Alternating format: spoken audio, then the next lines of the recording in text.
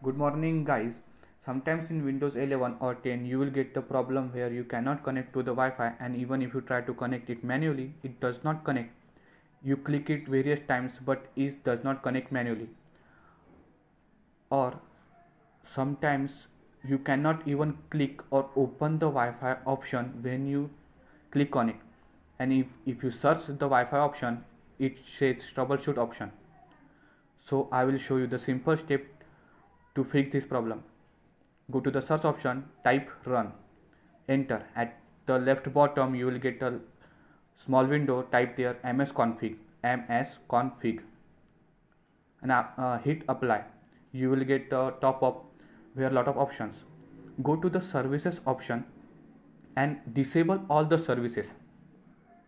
After that hit apply. Remember to hit apply and then ok you will get two options restart and exit without restart. Restart your laptop. After restarting your laptop it will act little bit slow but don't worry. Follow these steps.